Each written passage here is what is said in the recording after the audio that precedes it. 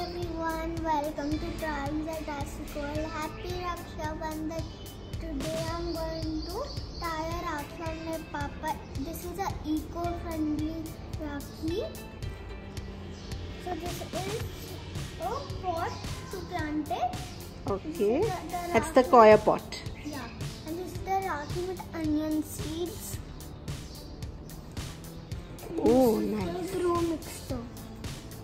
Oh, why? But why, why do we use these kind of Rakhis? Why did we decide this time? Because a few people know, a lot of them know, they throw their Rakhi in the garbage and all. After Raksha Bandhan is over, right? And it caused so much wastage and harm to the environment.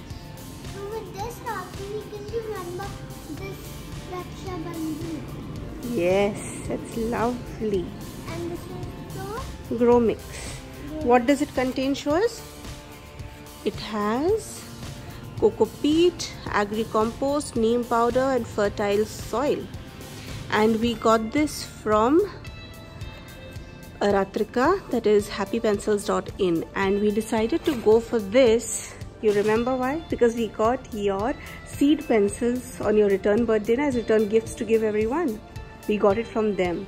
So when they showed this to me, I was like, wow, we just have to get it.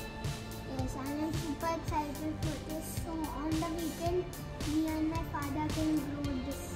Yes.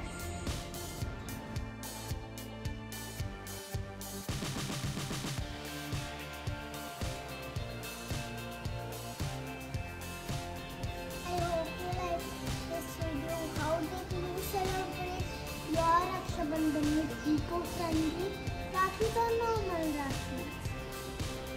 Don't forget to subscribe.